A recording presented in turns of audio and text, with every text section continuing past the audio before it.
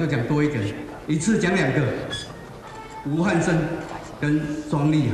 说好九号要爆料狼师身份，肖永达一开口，所有人全神贯注。仗势成为补习班名师，行为不检，这三个人呢并列。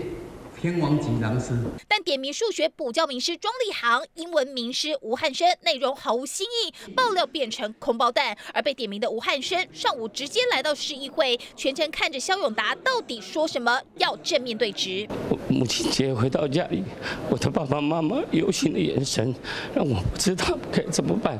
我觉得我应该要站出来，让我父母安心。澄清，整个世界让家人好煎熬，指控肖永达都在乱说。我会到台北的。呃呃，管辖法院去对他做按铃的控告。